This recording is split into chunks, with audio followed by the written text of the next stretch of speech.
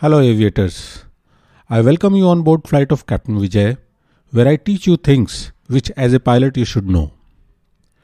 On 8 December 2021, Chief of Defence Staff Bipin Rawat died in a helicopter crash near Coonoor in Tamil Nadu. Spatial disorientation of pilot due to low clouds in mountain was found to be the cause of the accident by court of inquiry. A large number of flying accidents and fatal crashes in aviation has been caused due to spatial disorientation, leading to loss of control and CFIT. Today we will fly through the topic of spatial disorientation. In this video, we'll learn what is spatial disorientation, what are the types of spatial disorientation, levels of spatial disorientation, and what are the preventive measures for the pilots. So fasten your seatbelts as we are ready for takeoff. Before knowing disorientation, let us know what is orientation. Orientation is our natural ability to orientate our body and posture in relation to environment at rest and during motion. Humans are designed and have evolved over thousands of years to keep orientation on ground, but not in the air. Spatial disorientation is defined as an erroneous sense of position attitude, altitude, motion of oneself or one's aircraft in relation to a three dimensional coordinate system defined by the surface of the earth and the gravitational vertical. To summarize, it is an illusionary or false sense of position, attitude, and motion. Or to put it in simpler words, the perception is different from reality. And just to demonstrate an example of how perception and reality can be different, look at the image on the screen. So, did you notice that your eyes were feeding wrong information to your mind? That is an example of SD.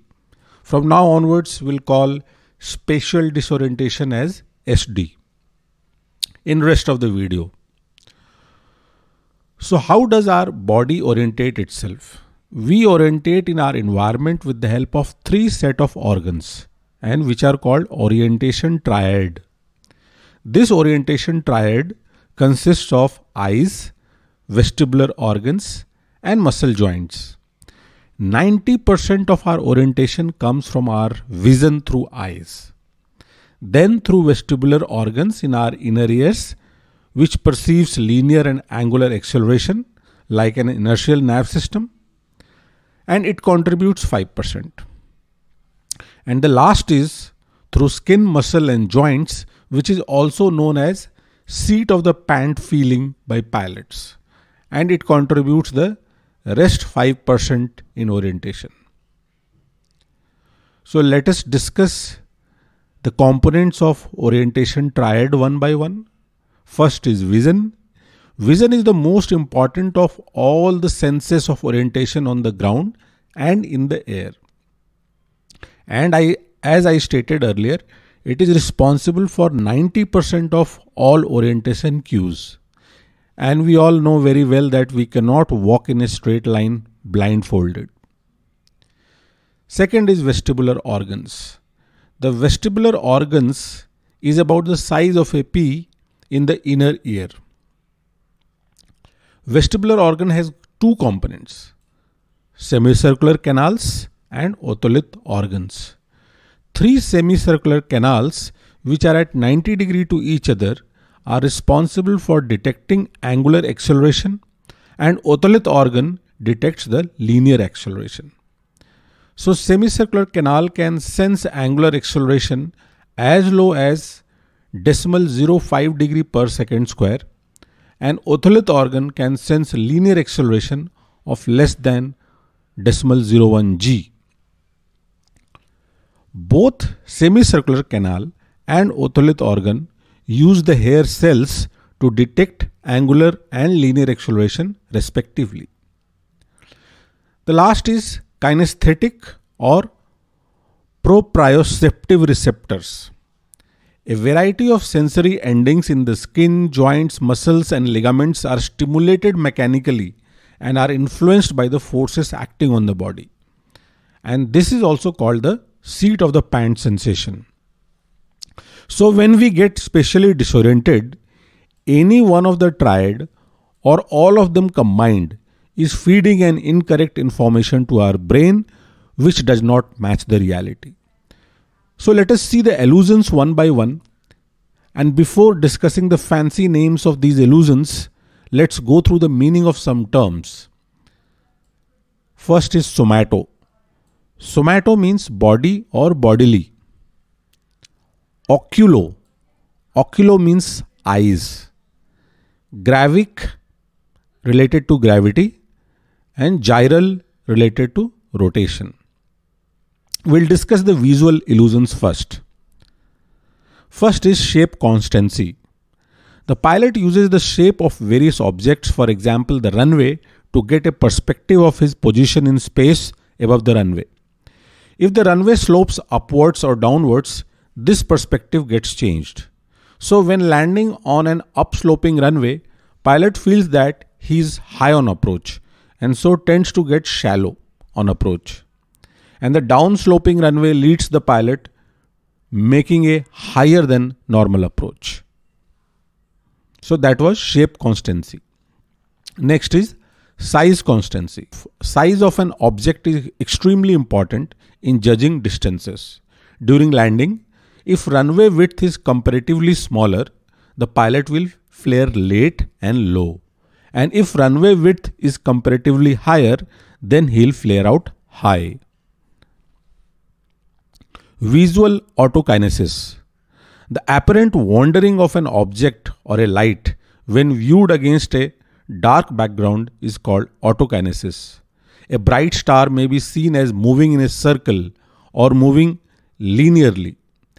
And generally, this makes the pilot feel that there is a traffic ahead in night, whereas it is just a star light years away. So, the pilot should avoid staring at solitary lights for more than few seconds. Black hole approach. The black hole illusion is produced during night landings when there are no references along the approach path except for runway lights.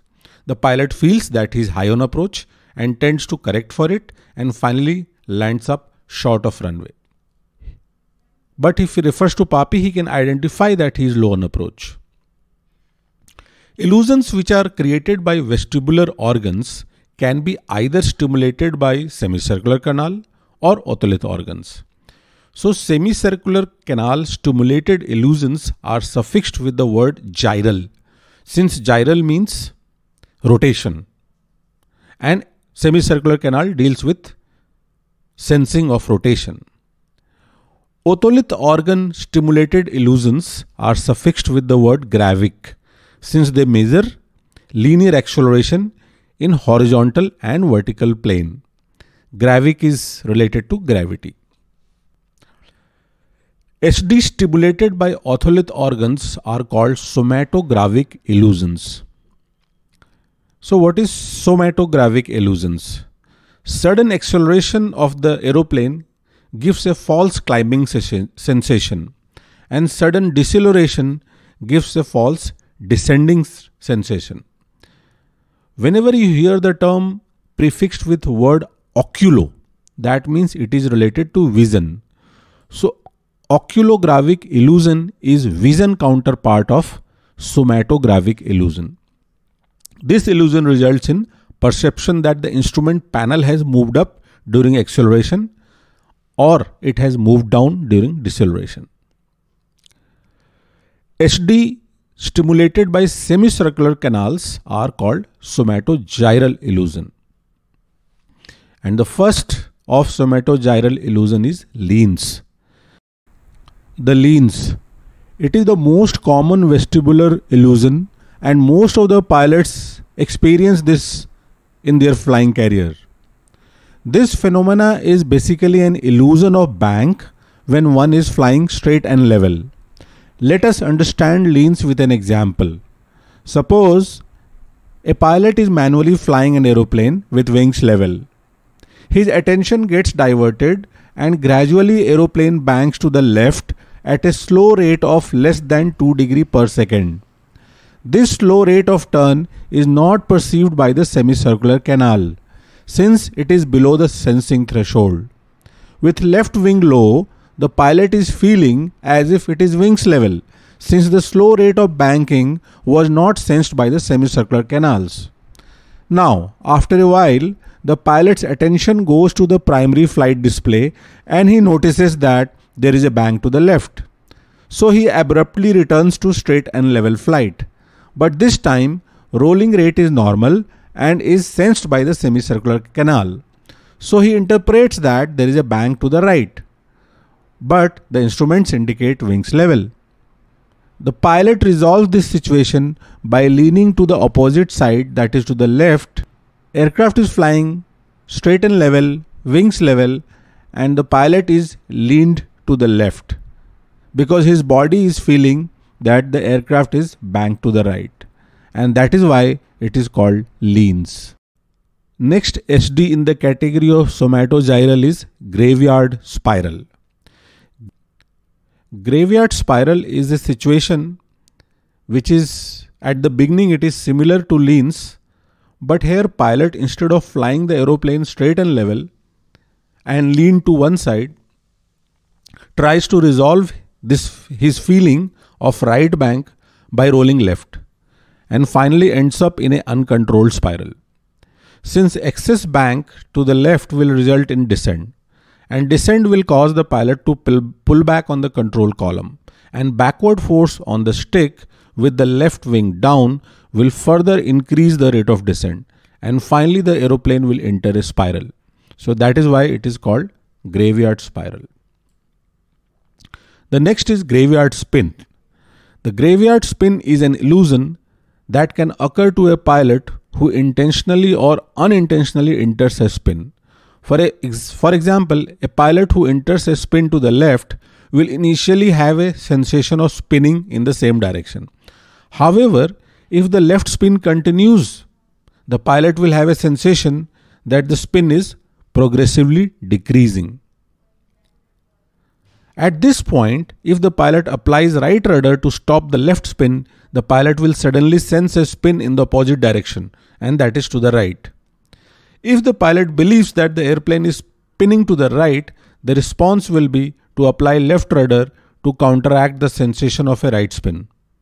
However, by applying left rudder, the pilot will unknowingly re-enter the original left spin.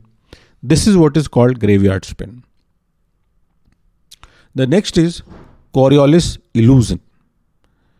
It is an abnormal sensation of tumbling in space by pilots when more than one set of semicircular canals are stimulated simultaneously.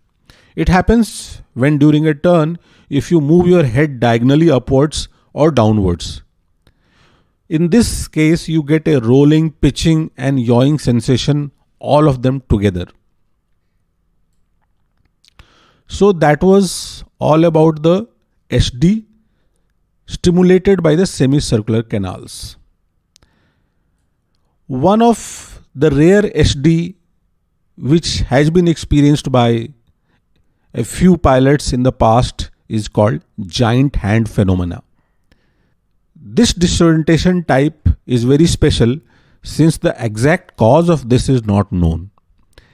In this SD, a pilot feels that while he's trying to make roll pitch changes to the aeroplanes with enough force, but there is a giant hand which is stopping the controls to move.